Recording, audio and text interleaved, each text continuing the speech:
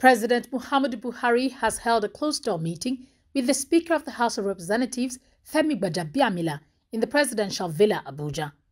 Briefing State House correspondents on the outcome of the meeting in Abuja, the Speaker expressed optimism that the electoral bill recently passed by the National Assembly would soon be signed into law by the President.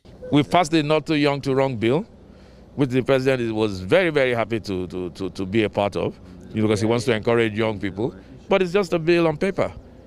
You pass the young, not too young to run bill, but at the same time, you close the space for the young ones who you've passed the bill to run.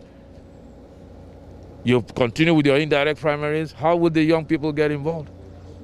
Now they have a chance with the direct primaries. You've opened up the space, and they can get in and mobilize themselves. And whoever, if they're popular enough, they win the election. They're not dependent on any godfather.